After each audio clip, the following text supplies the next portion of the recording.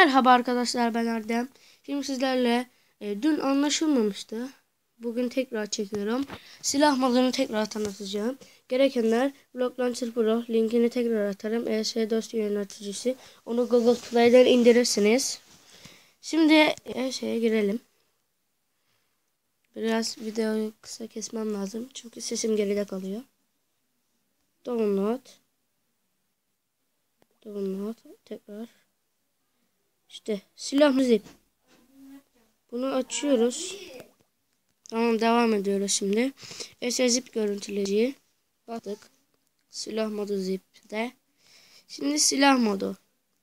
Altta gördüğünüz gibi çıkart var. Çıkart butonuna bastık. Tamam dedik. Şimdi bende aynı dosya olduğu için üzerine yazmasın. Atla. Atla tamam iptal. Tamam. Şimdi sonra bu gelecek. Basıyorsunuz. Tekrar basıyorsunuz. İlk önce sonda yapıyoruz. Bunu kopyalıyorsunuz. Geri. Geri. Geri. Games. John Mojan klasörüne yapıştır diyoruz. Bende vardı. Şimdi yapıştırmayacağım. İptal. Şimdi de tanıtım mapına geldi sıra. Tanıtım mapını da aynı kopyalıyoruz. Geri geri. Kopyaladıktan sonra Games, John Mojang, Minecraft Wars klasörüne yapıştırıyoruz. Bende vardı orada. Sonra geriye kalan şeyler modu kurmak ve de seksiyonu kurmak. Block Launcher programımıza giriyoruz. Ekliyorum. Yukarıdakine bastım.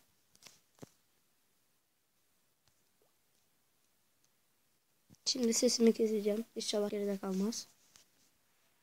Yaptığım işlemi iyi görün. Bir dakika şunu kapatalım. Şunu da silelim. Import. Local security. Download. Silah modu. Silah modu. Şu JS. Mod dediğimiz bu. Tıklıyoruz. Biraz bekliyoruz. Modumuz biraz büyük. Tamam. Şimdi bunu bir disable yapalım. Modu açmak istemiyorum. Şimdi texture pack'te sıra. Şunları da sileyim. Kıt dedik. Yine download. Silah modu. Silah modu. Bu sefer zip. Zip'e basıyoruz. Geldi. Bu kadar. Mod kurulmuştur arkadaşlar. Texture da kuruldu. Ama onların 10 olması lazım. Ben kapattım. Oyuna girdiğinizde Creative'de hepsi elinize gelecektir. Beni izlediğiniz için teşekkürler. Kanalıma abone olmayı unutmayın. Google artık profilimi çevrenize eklemeyi unutmayın. Görüşmek üzere bay bay.